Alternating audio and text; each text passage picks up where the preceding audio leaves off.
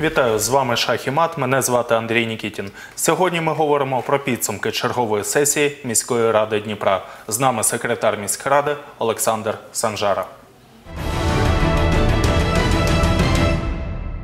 Олександр Санжара, секретар Дніпровської міської ради, освіта Академія митної служби України. За фахом юрист. Професійну діяльність починав як помічник адвоката Бориса Філатова. У 2015 році обраний депутатом Дніпровської міської ради. Тоді ж був призначений виконувачем обов'язків заступника міського голови Дніпра. З 2017 року секретар міськради Дніпра. Одружений виховує доньку. Хобі, книги, велоспорт, конструктор Лего.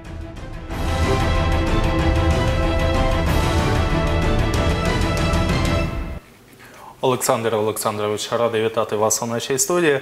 Власне, перше питання виходить із теми нашої розмови. Як е, взагалі вам загальна атмосфера у хотів сказати сесійній залі у двері міської ради? Е, Що обговорювали? Ну, взагалі, як пройшло засідання?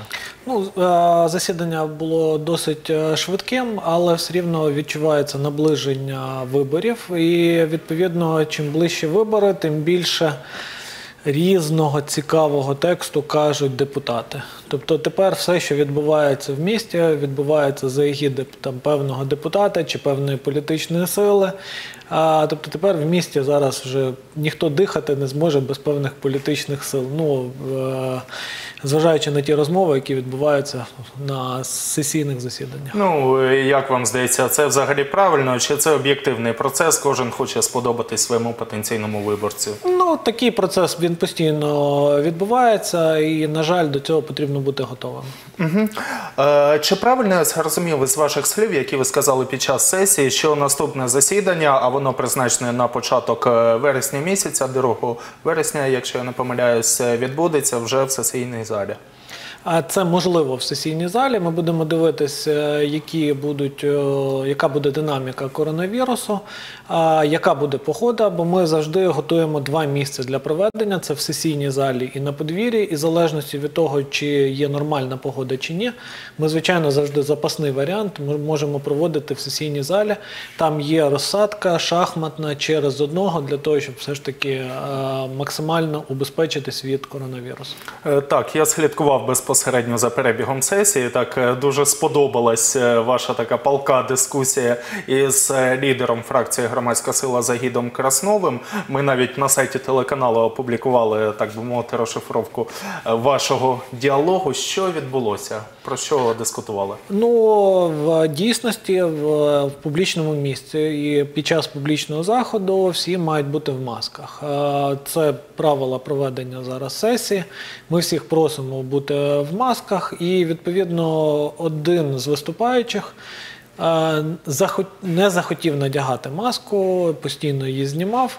Ну просто було зроблено зауваження, і е, я наголосив на тому, що всі е, люди, які виступають, всі депутати, е, вони є е, прикладом для інших городян. І якщо навіть депутат в людному місті на публічному заході не надягає маску, ну це такий дуже негативний приклад.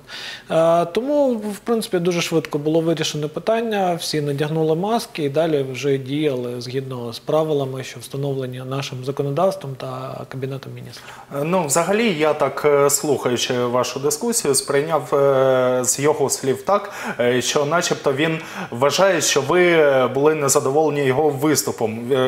Воно стосувалось парковок. Чи відповідає це дійсності? Ні, ще раз. Стосовно виступу, в мене був окремий спіч. А стосовно ненадягнутої маски, це абсолютно було. Тобто, ще до виступу я вже почав е, просити, щоб всі були в масках, щоб всі надягнули. Це абсолютно нормально. Е, Я звертаюся до всіх е, городян. Будь ласка, надягайте е, маски, особливо в. В громадському транспорті, е, тому що є великий ризик е, зараження, і це не жарти. Кілька наших працівників мерії захворіли, є підтвердження. Е, Навіть один депутат на минулій сесії оголошував міський Е, голова. Так, так, так. Тобто, це е, не якісь видумки е, закордонних вчених, це те, що реально є, і реально люди попадають в лікарні з е, запаленням легень. І ми бачимо, що це реальна проблема, коли люди з пневмонією просто за кілька там днів вже потрапляють до лікарні.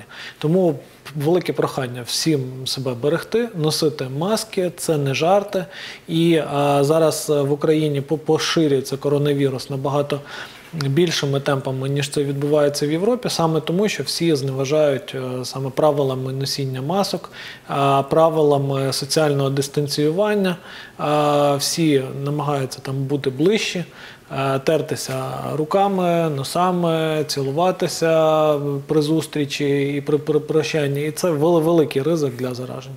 Е, Так, ну власне сьогоднішнє засідання вели ви, ви були головуючим. Але до початку сесії міський голова Дніпра Борис Філатов оголосив про створення нової фракції. Це фракція політичної партії Пропозиція. Як відомо, він є одним із її лідерів. Е, До неї війшло 26 на- е, народних, хотів сказав, просто депутатів міської Обранців, ради. так, народних обранців. Народних обранців. Так, чи можна вважати в принципі створення нової фракції найбільшої міської ради підготовкою до місцевих виборів? А, Звичайно, це підготовка до місцевих виборів, тому що м, нова фракція створена. Вона створена з тих е, депутатів, які працювали в коаліції. Тобто вони мають що продемонструвати. Вони щось робили на своїх округах. Вони голосували за ті рішення, які були спрямовані на певні інфраструктурні зміни всередині міста, тобто рішення там стосовно транспорту, рішення стосовно там ремонту певних зелених зон, а, набережної, ремонт доріг, ремонт тротуарів, внутрішньоквартальних переїздів. Тобто кожен з цих депутатів може сказати, що так, я працював, я щось робив, і відповідно це моя політична програма, і з цим я буду йти на наступні е, вибори. Ну, це абсолютно логічно, тому що більшість депутатів лобіюють свої округи і намагаються на свій округ. е, завдяки лобіюванню принести найбільшу кількість грошей. І відповідно ті, хто працювали в коаліції, ну вони справді на цей час об'єднались для того, щоб далі працювати в єдиною командою і показувати той результат, який є. Е, Так, ну власне, от е, якщо повернутися у 2015 рік, е, до міської ради пройшло декілька партій. Найбільші фракції створили опозиційний блок, це 25 депутатів, і укроп, це 21 депутат на той момент. Фактично зараз цих двох фракцій не існує. Існує опозиційний блок, але там буквально декілька депутатів. І з укропу, я так розумію, вийшли всі з цієї фракції. Фактично, фракція ліквідована. З вашої точки зору, чи не є це певною мірою зградою свого виборця, який голосував або за опозиційний блок, або за укроп? Ну тут потрібно враховувати ті процеси, які йшли. Фактично, Борис Філатов був одним з засновників партії Укроп. А, Вона дійсно така була дуже потужна в 2015 році, але потім з керівни, керівництво партії, керівні органи партії і е, Борис Філатов вони пішли різними дорогами, тому що ну, в нас було певне не- не- непорозуміння. Ми їздили там регулярно на з'їзди, ми е, показували свою програму, ми показували свою позицію. Ми казали, як воно має в принципі розвиватися згідно нашої думки. Е, Наша думка не особливо враховувалась, і ми бачимо результат. Тобто ця партія зараз е, є на мінімальних е, позиціях, має мінімальні рейтинги. Ну, можливо, тому що не було забезпечено певних демократичних принципів всередині цієї партії. На жаль. Однак ті депутати, які прийшли, вони прийшли в першу чергу не як партійні функціонери, а як жителі цього міста, як люди, які дійсно е, ту- турбуються про те, що в місті відбувається, як його жителі, і відповідно працювали ці 5 років і тепер можуть показувати певний результат. І е, виборці самі будуть вирішувати, чи влаштовує їх цей результат, і вони відповідно підтримують цих депутатів, чи не влаштовує, вони будуть підтримувати інших. Це вже виборча кампанія, будемо дивитися.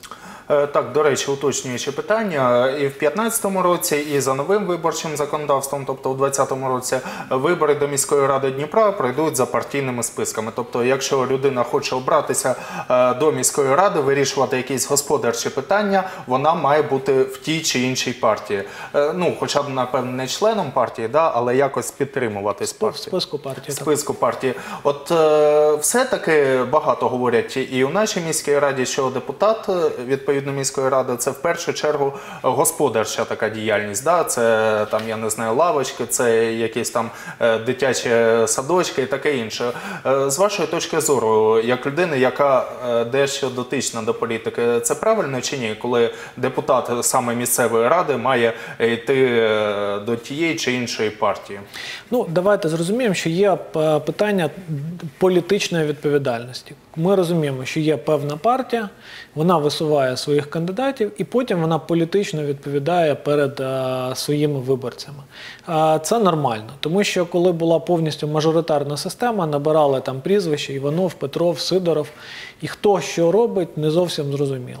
Знову ж таки, в нас дуже багато рудиментів від радянської системи. В нас дуже великі, велика кількість е, депутатів об'єктивно, тому що ми, наприклад, коли обмінювалися досвідом з американськими колегами, там в них на місто 5 депутатів.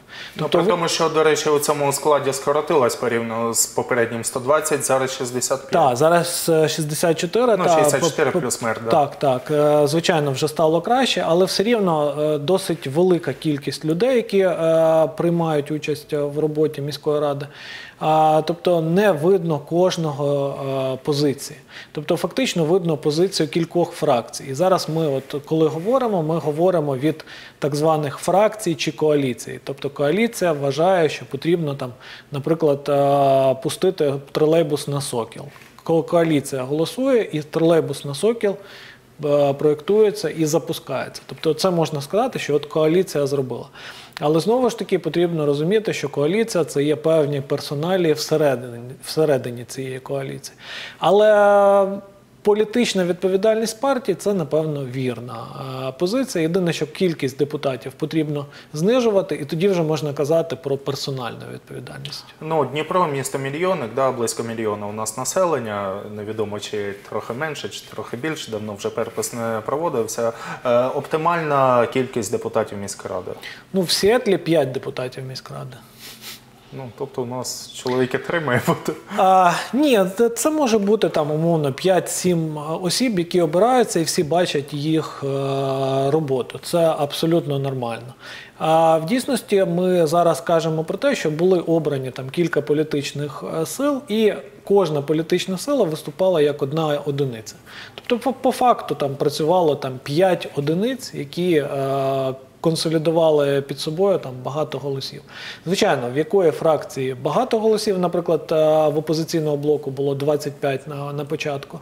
Вони дуже сильно е, могли впливати на роботу міської ради. І це був такий вплив, е, скажімо, деструктивний, що міська рада півроку не змогла навіть е, прийняти бюджет. Я нагадую те, що було в 15-му, на початку 16-го Так, здається, на початку квітня Так. лише прийняли бюджет на Так, так. І рік. тільки коли почали конструктивно працювати, тільки коли там залишили думки про те, що вони, е, ну більшість з них там прийшли якимось чином е, реалізовувати свої амбіції, в тому числі фінансові.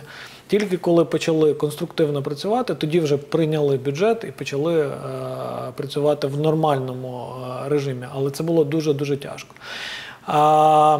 Потім, звичайно, ситуація вирівнялась, і вже якщо порівнювати там перші там два роки каденції, останні два роки каденції, ну зовсім е, два різних світи. Та, небо і земля, Скільки, скільки там зроблено доріг, скільки зроблено тротуарів, скільки.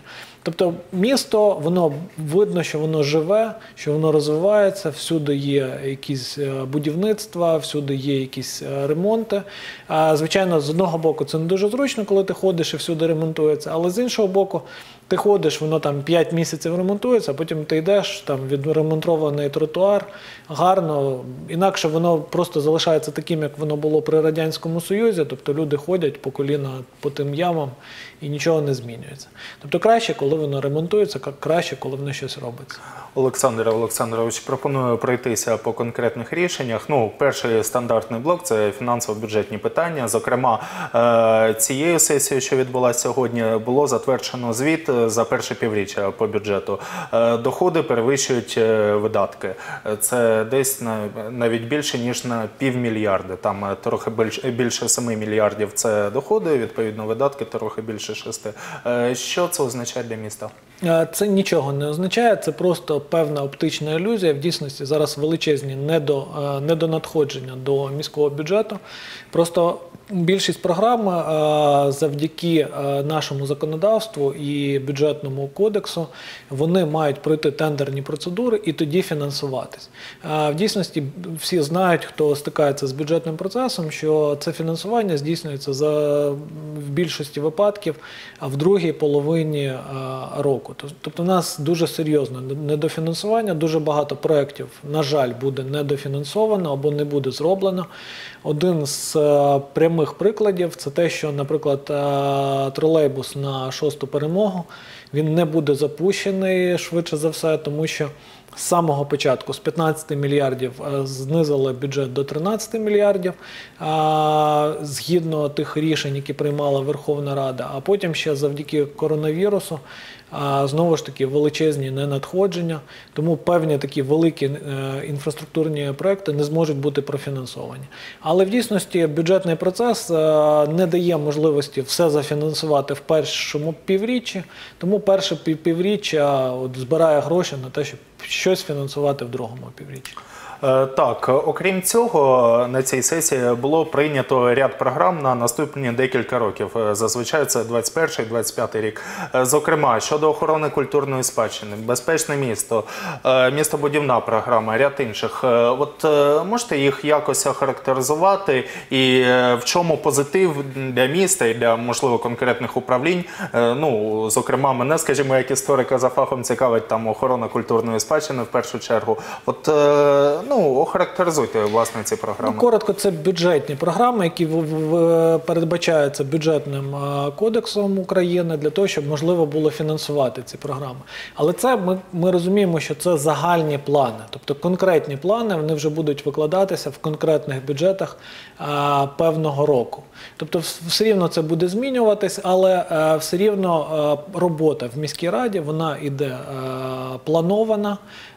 Вона має е, плануватися на там е, 4-5 років е, наперед. Відповідно, затверджуються ці програми. Звичайно, вони змінюються. Ті програми, які були затверджені там 15-16 року, вони постійно змінюються під е, реалії сьогодення.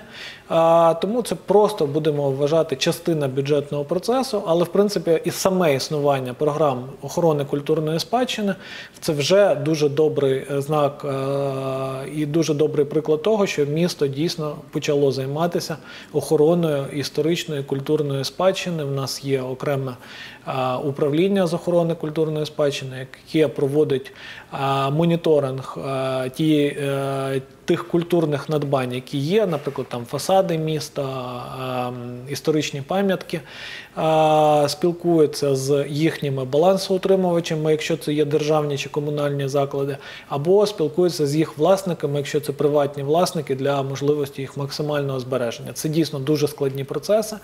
А вони дуже витратні, дуже ну, для деяких е, осіб вони взагалі дуже неприємні, але ну, нам потрібно зберігати нашу культурну спадщину, і тому є програма захисту, є фінансування цієї програми, і е, будуть заходи, які передбачають те, що все все ж таки культурно-історичне надбання воно буде зберігатися.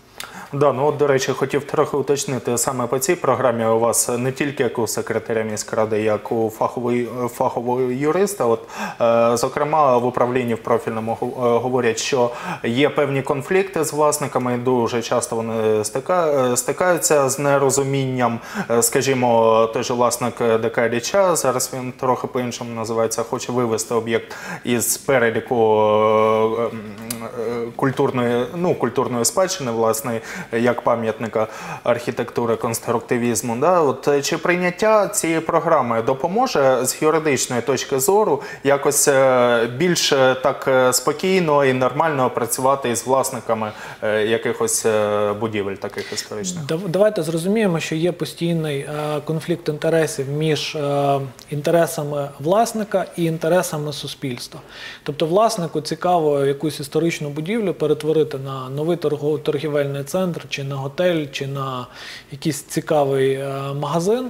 Але йому неможливо міняти зовнішній зовнішній вигляд е, цієї будівлі. Ну, фасад фактично. А фасад не можна міняти, деколи взагалі нічого не можна міняти, там, в залежності від, е, від ступеня охоронюваності цієї будівлі чи цієї пам'ятки. І деколи складаються випадки, коли дійсно є закинуті будівлі в самому центрі міста, які неможливо змінити, але немає коштів утримувати. І це призводить до існування ну, по факту звалищ в самому центрі міста. І потрібно завжди знаходити якийсь баланс між збереженням будівлі і відновленням цієї будівлі. Багато випадків є, коли власник не має змоги погодити нормальний ремонт цієї будівлі, немає змоги її зберегти, вона розвалюється. На жаль, е, такі випадки не поодинокі, і, е, на жаль, сьогоднішнє законодавство призводить до існування таких, е, таких ситуацій. Е, Так, ну ще таке рішення, точніше навіть два рішення міської ради, яке викликало дош- досить широкі, широкі дискусії. Це ліквідація комунальних підприємств Парк Шевченка і парк Лазаря Хлоби.